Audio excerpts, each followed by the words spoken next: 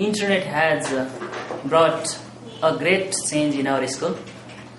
Uh, one year ago, we could not give computer class to student, but uh, this year onwards, we started giving computers class to the student of class 6, 7 and 8 compulsorily. And uh, class 9 in class 9 the subject has been put as optional.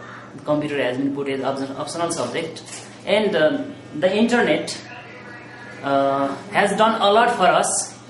Several uh, up to date uh, let's say events messages, and many things can be got from there.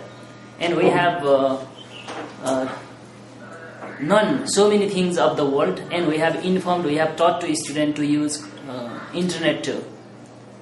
And uh, student might have felt uh, good because of computer they have uh, familiarized with the computer too. कम्प्युटरको जडान भइसकेपछि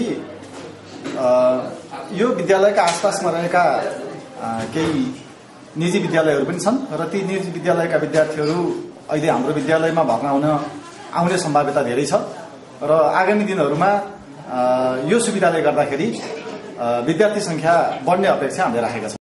अलिकति सिपको पनि आवश्यकता पर्दो रहेछ। यहाँ हामी जम्मा तिन चारजना शिक्षिकाहरू छौँ जसमध्ये म चाहिँ सबभन्दा बढी प्रयोगकर्ताको रूपमा छु भन्ने मलाई लाग्छ। अनि साथीहरू चाहिँ कसैलाई कम्प्युटर सम्बन्धी स्किल नै छैन अनि कसैले भर्खर सिक्दै गरिरहनु भएको छ उहाँहरू अब बिस्तारै बिस्तारै यो यसमा आकर्षित भइरहनु भएको छ। हामी दुईजना साथी चाहिँ अलि बढी चलाउने गर्छौँ यसमा। म चाहिँ सबभन्दा बढी प्रयोग गर्छु यसमा। अरू दुईजना साथी चाहिँ यसमा लागिरहनु भएको छ।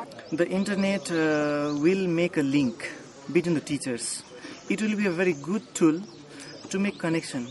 So since we have server connection, uh, by the help of server connection, uh, it can manage the teachers to make uh, communication so that we can share our ideas, knowledge, experience, emotions, and our skills and art in, in the field of teaching and learning.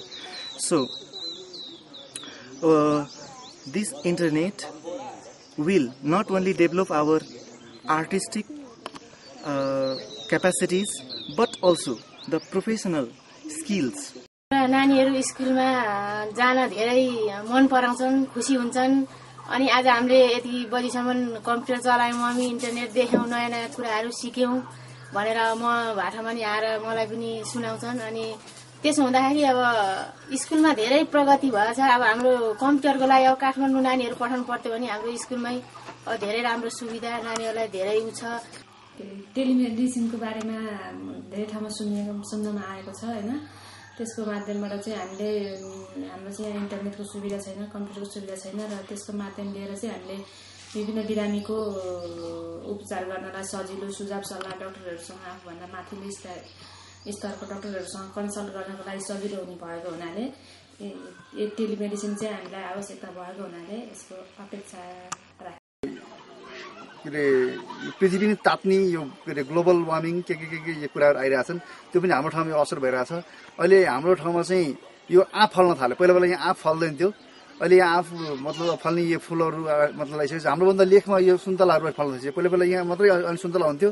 अहिले यो हाम्रोभन्दा माथिल्लो भेगमा पनि त्यो global warming अथवा यो पृथ्वी तातेर होला त्यो अनि सुन्तला फलिरहेको छ। त्यस कारणले यो सबै कुराको जानकारी चाहिँ यो यो ग्लोबल वार्मिङ भयो नयाँ नयाँहरू विश्वमा के भइरहेछ यी कृषिमा भएका फसलमा भएका यी कुराहरू सबैको उन्नतिको बारेमा चाहिँ हामीले यो तुरन्त तुरन्तको यो ज्ञानहरू पाउँथ्यौँ। त्यसैले के भनेदेखि नयाँ नयाँ तरिकाहरू के हुन् नयाँ नयाँ ज्ञान नयाँ नयाँ औषधिहरू के हुन् नयाँ नयाँ प्रविधि बिउहरू के हुन् कसरी पाइन्छ कहाँ पाइन्छ कोसँग सम्पर्क राख्ने कस्तो खालको गर्ने भन्ने खालको कुरा चाहिँ हामीले यो ज्ञानहरू पाउँथ्यौँ।